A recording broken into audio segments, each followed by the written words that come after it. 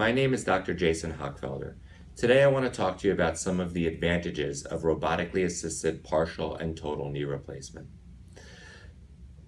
As with most surgical procedures, there are certain parts that tend to be slightly more important than others and can affect the outcome of the procedure. With partial and total knee replacements, one of those important parts is the way that the bone is actually cut or reshaped in order to fit the implant. As you can see on this model of a total knee replacement, the bone is reshaped in order to accept an implant. As you can see here, this is the same model with the implant in place.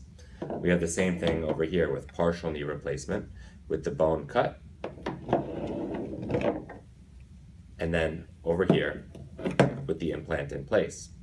The more accurate that those bones are cut, it affects the accuracy that the implants can be placed. More accurate implant placement can have the potential to lead to better outcomes and longer lasting of implants. So in terms of robotically assisted partial and total knee replacement, the main advantage is that it can increase the accuracy of cutting the bones and placing the implants, which does have the potential to have longer term effects on the success of your knee partial or total replacement.